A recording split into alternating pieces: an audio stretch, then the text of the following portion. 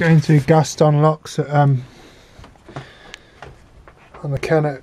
Uh, it's like an old scaffold lock, and uh, I pulled up and um, right to the front, and unfortunately, the um, the lock was uh, pouring water in, and um,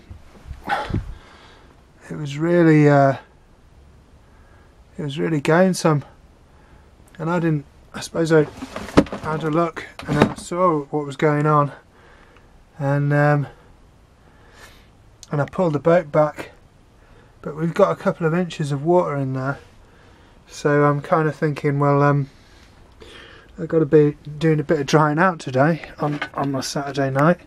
So we've got a bit of um, it's not too bad. I mean, there's a bit of water on a couple of things, but everything's um. I mean, it was just every, everything's above water. I mean, the pumps are mounted above water and stuff. So um, I'm just gonna spend um, the evening trying to dry things out, which should be very nice for me.